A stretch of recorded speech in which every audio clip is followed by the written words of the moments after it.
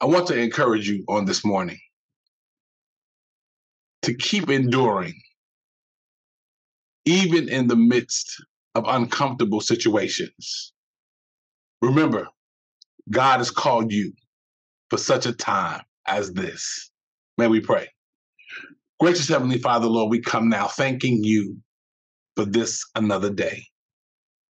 We thank you for being a creator that loves us more than anything.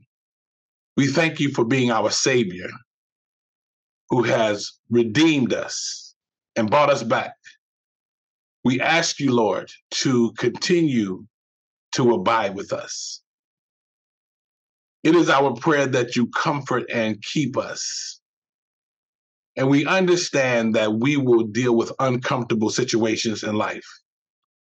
We know that we will deal with tragedy and disappointment, but give us a heart and a mind to continue to do the work, no matter what we come across.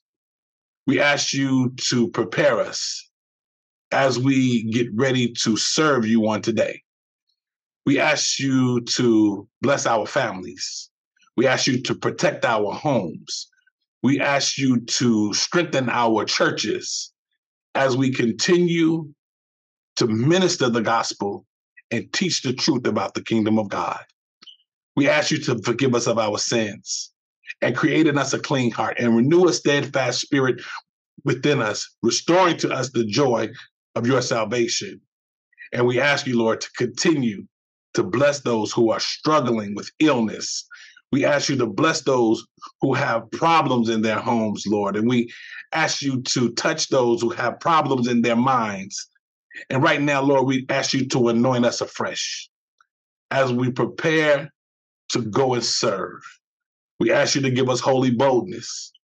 We ask you, Lord, to give us clearness of thought, clearness of mind, and clearness in speech as we prepare to be beacons of light in the land of the shadow of death. So we ask you to guide us right now. Be with us now as we go forth. And it is in Jesus' strong and matchless name we pray. Amen. God bless you.